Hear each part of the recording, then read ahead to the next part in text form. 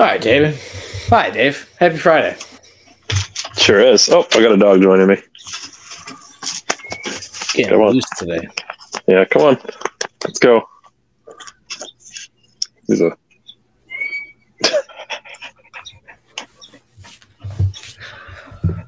Yeah, Ryan. studio is sacred.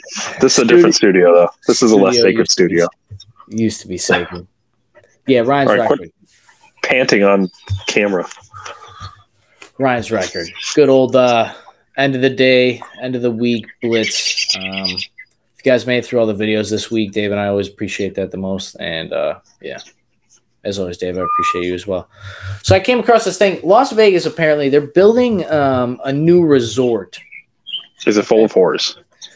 The Las, Ve- uh, Las Vegas is opening the MSG Sphere that costs 2.2 billion and is taller than the Statue of Liberty. How are they building it for so cheap?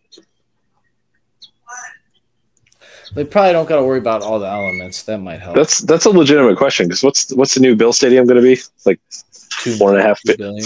Is it two billion? Yeah, something like that. And it's going to be. They don't even have a roof on that, so No. Yeah. they better And have really look- nice leather recliners or something. If you look up pictures of this thing, it looks like a Death Star. And uh, the video I Oh, that's because it's probably the Death Star.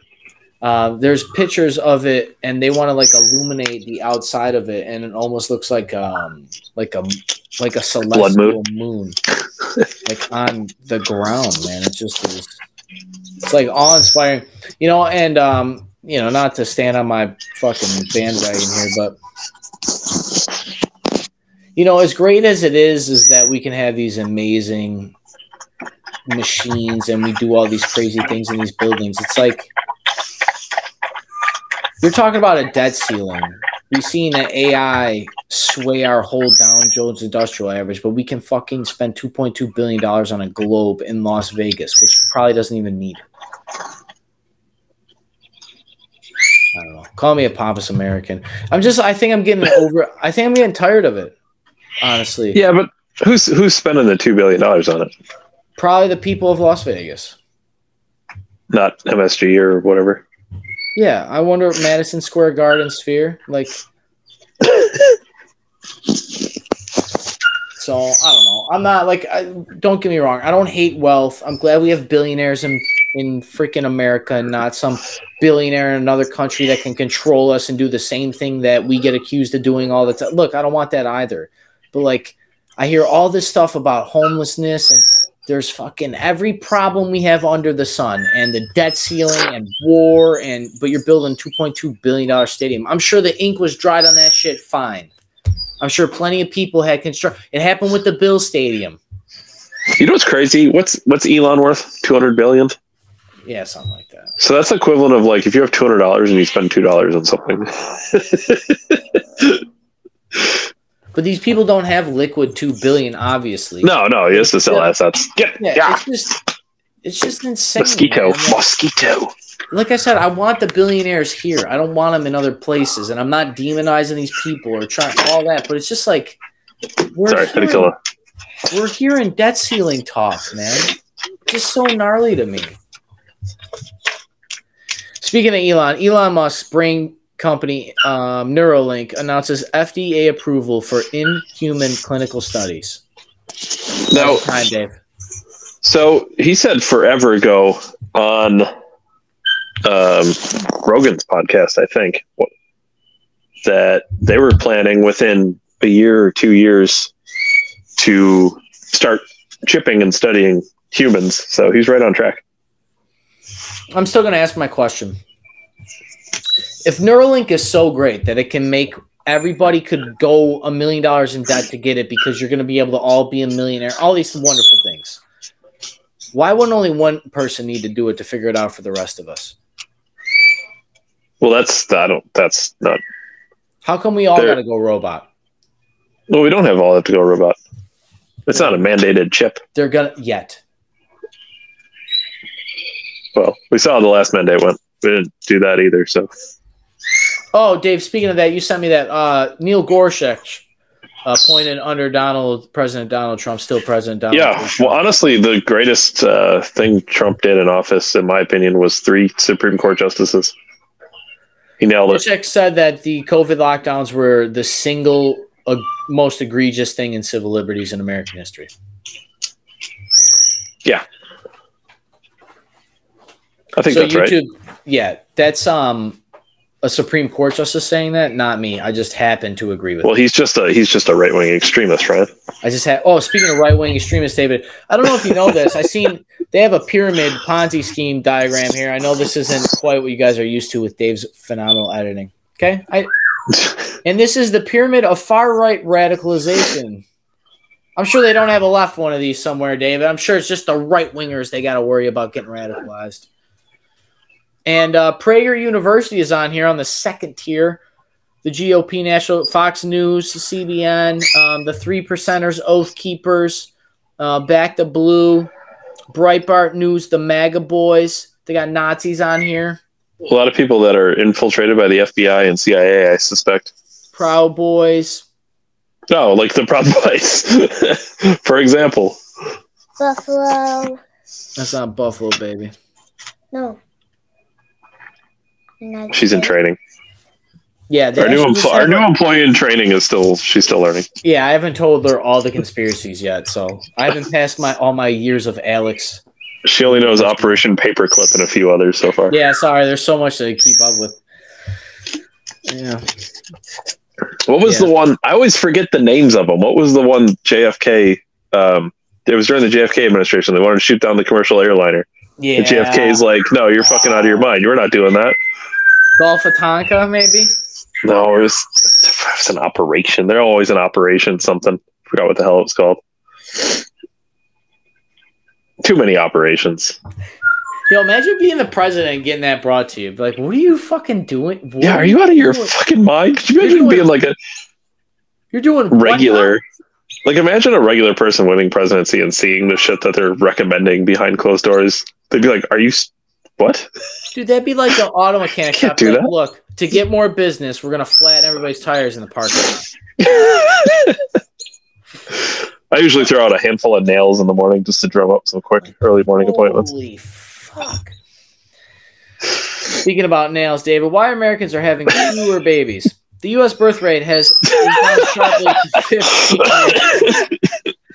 15. As women report, the economy and social obstacles are causing them to have fewer children than they want. What social obstacles? Yeah, the economy's great. The economy's great. There's more women in school than ever before. You're making more than the average man. Women dominate almost all fields, minus blue collar. There's more teachers. There's more this. There's more that. Yeah, it sounds it sounds like everything's doing well. What is it? Oh, it, the cost of living. To, it's weird that as you as we give everybody more equal things, we have to all work now. I said this earlier in the week. It's a shame that our grandparents were able to build the whole world on a nickel. And I need hundreds of nickels. I need thousands of nickels. Because it's been so devalued. We had so much wealth and they stripped it from all of us. It's almost like the money used to be backed by something of value. It's weird when you can lock in inflation with physical things, David. I don't even know if they can even do that anymore. Uh, people are having fewer babies. I'm not even going to get into this. I'm just referencing it because I came on this podcast many times and told you that population collapse is more important than climate change and things. And this is what Elon Musk is saying, Jordan Peterson, Chris Williamson, and uh, Yeah, but the other people are telling us that our climate cannot, or our uh, Earth cannot handle all these people, and the climate's going to uh, set us all on fire if there's more people. the thing that's a real shame when you see these things is like why Americans are having fewer babies. And it's like and the headline should be complete with and why it's bad. Like, but we've done such a good job of removing like But It I'm, might it might say that you just have to subscribe to get the rest of the news article. I'm convinced people forget that abortions actually can affect people like living things. Like I just think people literally have just been sucked so well. We've done so good at identifying a cell that we forget a cell is a person. Like we all start as one thing. Yeah, they're just clump of cells, right? Fucking A, dude. I had this thought the other day. I know this is completely off the rails, but what if your consciousness is all of your cells talking to your body? Like collectively. Like they send a liaison to your so- bones and your body and your mind to talk to each other, and it's your consciousness. I suppose technically that's true. Right? Well, I got this gut feeling. Right? All these That's your well, that's your cell guts. Speaking of cell guts, There's um, no way you got a transition for that. Twitter Spaces crashes repeatedly during DeSantis 2024 announcement. DeSantis. D's nuts. I, I realized watching his his thing that I've been saying his name wrong the whole time DeSantis. because he says Ron DeSantis. Ron DeSantis. Um, here's what I'm going to say. Go watch Patrick Bet David's breakdown of this entire thing. It's Well, here's what I'm gonna say. It's short, and I also think DeSantis is going to get the floor mopped with him. Well, here's what I'm gonna say. Go ahead. Watch watch us next week because I'm pretty sure Christian's coming on, so we can talk about Ron DeSantis. Yeah, and I said uh, on yesterday's episode, I believe that um, I'm going to try to remain impartial this election segment cycle. It's going to be very hard, and I may not stick to my own word with it, but because I want to approach this, I want to. I think I'm at the point now, David, of of, of our breakdowns that I want to see how other people are reacting to what's going on instead of reacting. Because I think it's more telling when I'm watching other people's trends now. Anyways, the point the point is is um Patrick Bet David actually brought it up first, and he said Twitter's headquarters is in California, and a right winger was dropping on like there might have been foul play in there. Elon Might Musk, have been. Elon Musk also has said that Twitter is open to all elections, all campaigns, all parties, all points of view. That's a win. Um, Well, that's that's what free speech is. That's a good thing. David, I'm just going to say this. This is the sprinkles on a pound of shit. Okay. You can dress up a pig, you can put lipstick on a pig, you can make it the prettiest pig possible, but it's still a pig. I'll believe Yeah, you guys are doing I the wrong see it. things with your pigs. I don't I don't care what they put on there. I don't care if it's Tucker Carlson. I don't care if Alex Jones or Andrew Tate's allowed back on. These people are going to do whatever they can to stop you, us, the American people. They will do anything. They will sabotage anything. They'll blow Twitter up. They'll do anything they need to do. They They'll get globalists as the CEO. They flooded a thing full of ballots. Like what? There's a fucking water main Those- break that didn't even happen. Those were irregularities, right? We're on YouTube. They will Maybe. do. They will do anything. They will. I'm not putting it past them. I'm not saying that don't move it. I'm not saying don't go to Twitter. We should 100. Twitter probably is going to do very well. Patrick Bet David said that they'll be a trillion dollar company in 10 years. They're on their way. This right now, Twitter's about to cut out every single media there is when it comes to elections, which by default means we don't even need the news to ask the president questions anymore. All the same. It's interesting. DeSantis having a rocky start to his campaign. No, Maybe I'm- Ryan. Ryan, say it with me. Ron DeSantis. Ron DeSantis having a rocky start to his campaign. Interesting. This is unrelated, but I'm realizing if I shoot out here again next week, I'm going to need lights when it gets dark. Mm. I feel like uh, what was that show? Is it Are You Afraid of the Dark? No, you didn't. You didn't watch TV as a kid, did you? You missed out. Not like cable TV. I watched like the 2, 4, 6, 9, 7, Did you get a lot of PBS, Yeah, a lot of, lots of PBS. A lot of that publicly funded programming. government sponsored media? Publicly funded program by these seven super insanely rich people. By people or people like you, as they call it. People like you. Yeah, my $5 is what's making that cartoon. Let me tell you. Um, uh, we'll touch this ba- briefly, David. Um, Fed minutes. This is a breaking market news. Just some random person on Twitter, but it's a blue check mark, so it must be true, David. Oh, that means they have eight dollars a month. Um, Fed staff continues to forecast mild recession starting later this year, followed by a mostly paced recession. Or I'm sorry, Mostly, just like mostly peaceful. uh, followed by a mostly, a modestly paced recovery. Ah, You can set the Dow Jones Industrial Average like a thermostat, but then you're going to know exactly how a recession pans out. Dave, it's almost like as if they know exactly how the economy. well, these people are experts, right? Uh, that's right. They are the experts. Yeah, And they're they the haven't taught me intellectuals, and we're the pseudo intellectuals. Yeah, because they haven't taught me enough in the public school I'm supposed to take about how the whole world works. They Did tell the- me I need to spend more money to figure that out. Did they say in that article how they're going to justify a recession since they changed the uh, definition? Uh, they probably will just say that that never happened, David. Well, if they're if they're saying they expect a recession later this year, what do they?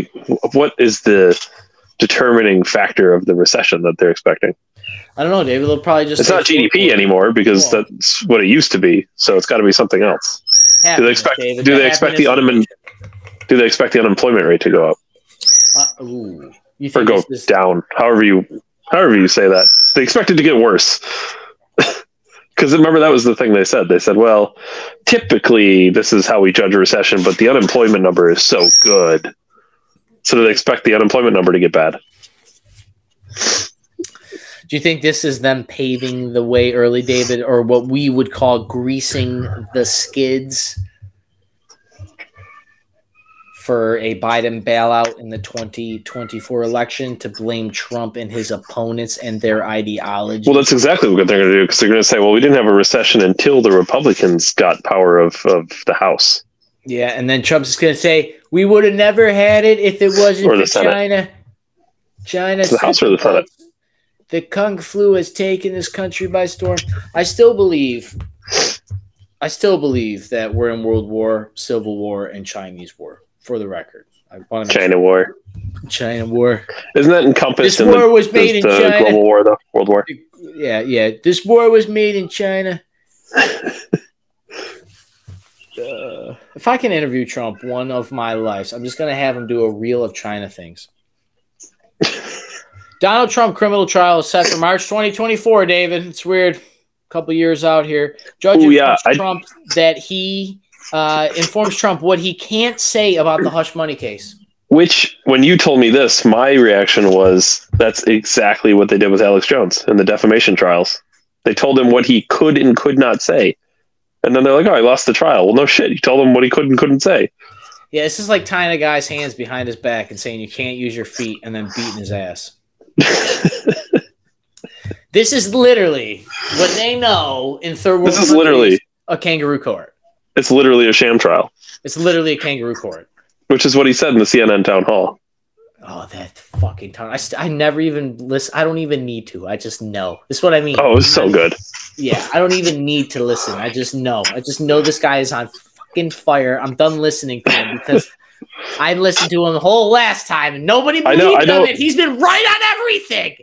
and I know we're staying open minded, Ryan, for the election, but the one thing, and I, I'd like DeSantis as a governor, I think he's done a good job with Florida. Obviously, he's the best results of the of in the nation as far as a governor.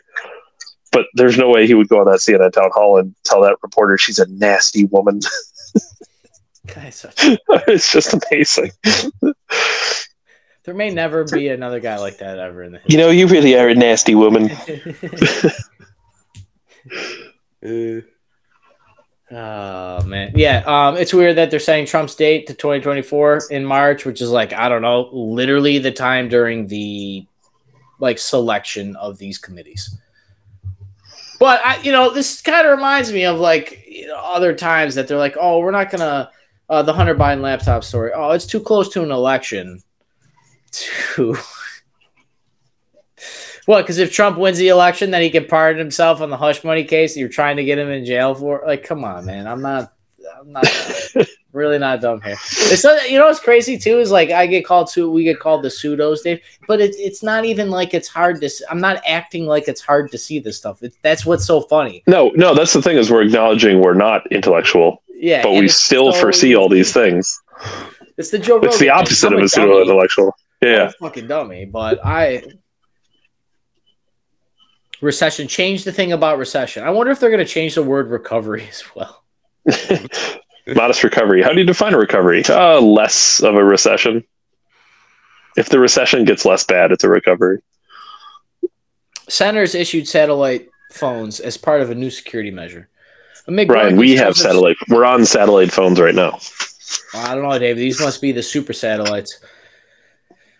Amid growing concerns of security risks to members of Congress, more than 50 senators, which is a lot. Half? Yeah. 50 like- senators? That's half of them. That's that's a lot. it's a lot. How many senators are there? Five hundred. Those are House members. You fuck. That's, that's everybody. Yeah, no, it's, Fifty it's. senators have been issued satellite phones for emergency communication. I wonder which 50 are they all Democrats? I don't know. People Oh, weird. Only the Democrats got issued satellite phones. Yo, they printed this. This is so funny to me. Part of new security measure. Okay, that's the headline. Just keep that in mind. New security measure in place. Oh, great. Security. Security's great. Um, 50 centers have been issued satellite phones for emergency communication. People familiar with the measures told a- CBS. So you have new security measures in place that can get leaked to the fucking media. Yeah, that's right. Those I know I'm being facetious, but I know that that's the FBI telling the news to tell this to just keep us in the fucking hamster wheel. The devices are a part of a series of new security measures being offered to senators by the Senate Sergeant at Arms who took over shortly after the assault on the U.S. Capitol on January 6th. 6 assault. You mean the 10,000 plus hours of your men, the government's men, walking around letting people into the Capitol building?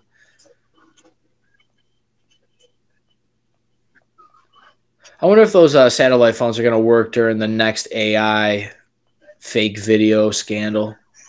Oh, for sure. I seen a video on the internet, completely unrelated. What would happen if the Earth didn't have oxygen for five seconds?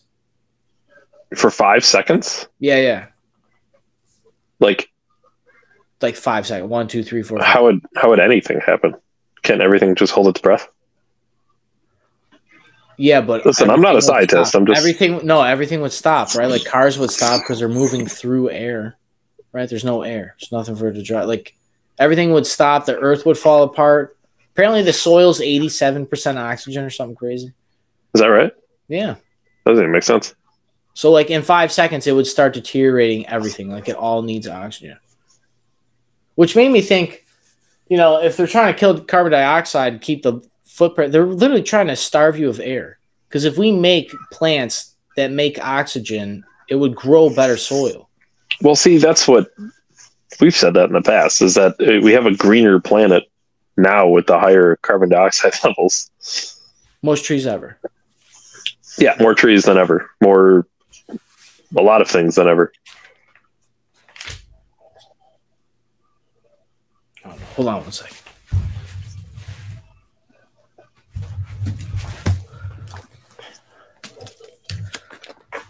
I got something to simultaneous this week. I'm pretty sure I wanted to read it out of Jordan Peterson's book.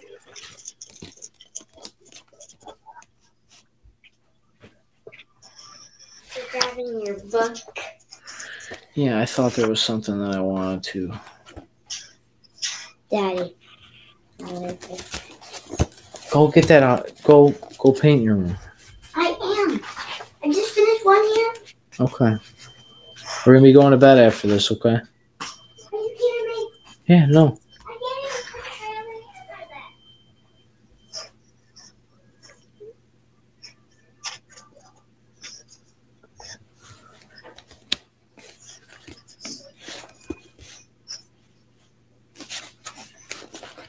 that. All right, here it is. I found it. Sorry, it took me a minute. So I've been reading Jordan Peterson's 12 Rules for Life, and in this rule, it's Rule 11, which is um, do not bother children when they are skateboarding. Okay, it's an interesting rule. Excuse me? Yeah, yeah. Don't bother children when they're skateboarding. Okay, these aren't as straightforward as I was expecting, apparently. No, That's a they're very specific rule. Yeah, yeah. They're very. Uh, the last one is uh, when you see a cat on the street, pet it. Yeah, yeah. All right, that's this is not at all what I expected. Okay. Yeah, yeah. No, no. Uh, I guess he wouldn't be the great Jordan Peterson if he had straightforward rules. Yeah, uh, this book is incredible. Uh, I bought digital. I know I told you guys this and stuff. I've been really making an exerted effort. The weather's been very nice, so I've been going outside. I've been letting the kid ride her scooter, and I've been just sitting there reading like ten or twenty pages like every time, and slowly chipping away. I bought a couple other books. I know I told you guys about them, so I'm trying to get through those too. Just trying to get better every day, all that stuff. But um, I've been putting it into practice actually, so it's been feeling good. My mind's been staying sharp. I've been staying busy. But the point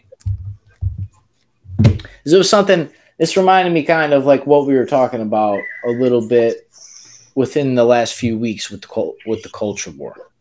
You know, because we always hear, you know, like why would these companies do this?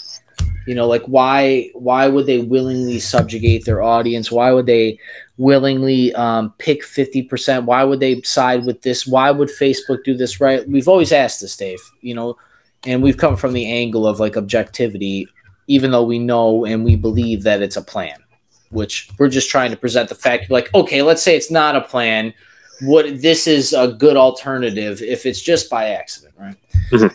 And in jordan peterson's book it's a little long but i'm gonna read it because i think he does a good job of like breaking down like because these are the people we're dealing with right? When i say like these are the people we're exactly what we're doing. Um, and this he said this about orwell. Orwell uh, in the book second half this was about um, orwell wrote the road to wigan pier for the left book club. And this book was about like coal miners. And they would have to crawl like an hour and a half through like a shaft like literally so big they could barely fit in it. Hour and a half one way work 11 hours and go back the other half and make like very little money. And they would always be trapped in there. And this was in the very early ages and uh, industrial revolution all that you know like when it was fully and the point is is um uh, Orwell turned his gaze to a different problem: the comparison, uh, the comparative unpopularity of socialism in the UK at the time, despite the clear and painful inadequacy observable everywhere. He concluded that the tweed-wearing, armchair philosophizing, victim identifying of pity and contempt dispending social reformer types frequently did not like the poor as they claimed. Instead, they just hated the rich. It sounds accurate and familiar. And if this, the thing that struck me is like money is the easiest thing. What is the saying? Uh, money shows you man who uh, shows a man who he really is, right? Because if you have unlimited funds, you'll know what you'll do, right? And it's like money is an enhancer to your character. Like if you give a bad person money, he's going to do terrible things. But if you give a very good person money, they're going to do wonderful things, right? And it's just like an enhancer.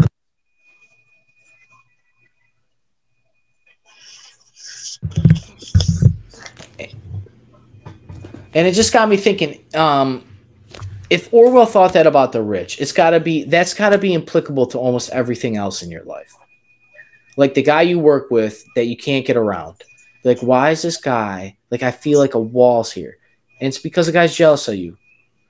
And he can sit there and say he's not, or he's a hard worker. But you guys know, everybody knows those people in your way, those people Mhm. that are put there as obstacles either by chance or the heavens or your religion or and I don't know, maybe I guess that's what I'm learning as I'm aging, and that's why I think it's relevant and I wanted to share it was because it seems like for every road that I'm hitting or every little rock that's getting in my way or however big or whatever, I'm navigating and finding ways to solve problems or navigating, finding ways, trying to get new paths. I'm just trying anything, right? Like Jordan Peterson would say, you try to fall forward, right? And then I guess that's in the Bible. And um, yeah, I round I rounded off the this week with this because with us being in the culture war, like it's when I haven't talked politics all week, Dave. I've been telling you that I've been kind of distant from it and just coming on the show and then giving it all raw to you guys and you especially. And um, I think I think like uh, the culture war is affecting everybody now. Like it's not just like one in five people I talk to. It's like every person I talk to is talking about something in the culture. So I guess that um, maybe the envy and the hating the rich and maybe that goes full circle hating the people better than you or people in happy relationships people that drive nicer cars than you i mean anything people that are mentally healthy people that are physically healthy people that eat well people that drink water all day and you just drink pop and you like socially shame them because you know like these all these little uh little weird psychology things and it's like if we're not tight with our mind and and have a lot of self-awareness we're going to get caught up in this AI whirlwind that is upon us. So, I don't know. I guess I'll cut it there. Dave, as always, appreciate your time. You can catch us Monday through Friday, 7 p.m. Eastern for the weekly show. Dave Ryan, December 1773, YouTube, Rumble, and Facebook. As always, Dave and I will be there. David, I thank you for your time. See everybody later. Thanks, everyone. Thanks, Ryan. Yeah.